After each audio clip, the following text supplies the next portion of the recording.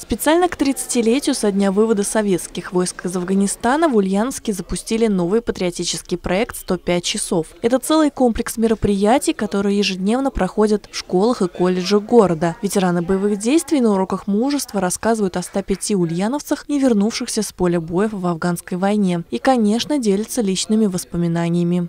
Когда мы были в возрасте учеников, и перед нами выступали фронтовики, участники войны, которые сейчас э, в нашем возрасте пребывают, нам тогда казалось, лично мне, ну как это можно было помнить, прошло столько лет, а фронтовики рассказывали все до мельчайших дат.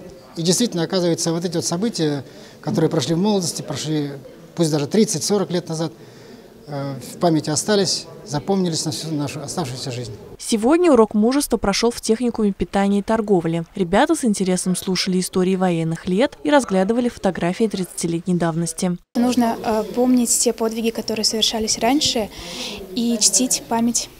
По замыслу организаторов подобные проекты помогут молодому поколению знать и чтить героев не только всей страны, но и своей малой родины. Анна Тищенко, Новости Ульяновской правды.